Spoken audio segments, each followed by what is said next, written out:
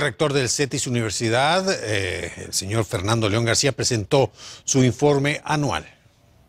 Tras la pandemia, una de las fortalezas destacadas para CETIS Universidad ha sido la capacidad de avanzar hacia el nuevo Plan de Desarrollo 2036.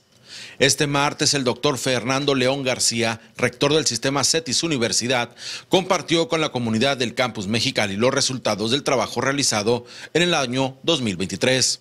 Se enfatizaron logros significativos como la introducción y desarrollo de nuevos programas académicos de licenciatura y posgrado en modalidad no presencial, en sintonía con el uso de tecnologías emergentes. Eh, lo que estamos procurando es asegurarnos de no anquilosarnos, de no quedarnos en lo mismo y no avanzar, sino innovar.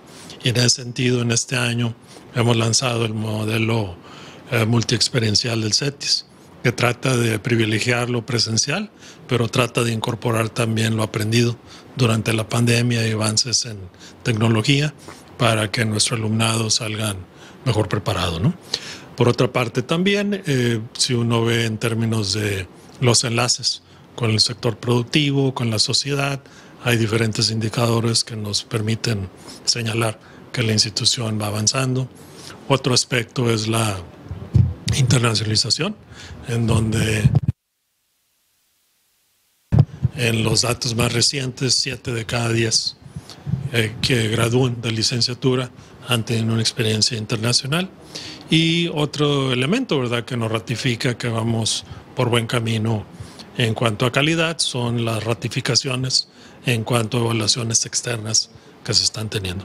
Asimismo, se delinearon los planes para el próximo año académico en términos de desarrollo institucional y crecimiento, lo que abre oportunidades para abordar nuevos desafíos que impulsen a CETIS Universidad hacia el futuro.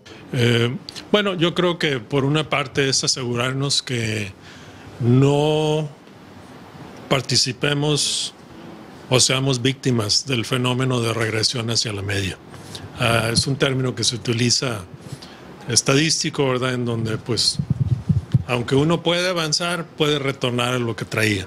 Y retornar a lo que traía o traíamos no necesariamente es lo mejor.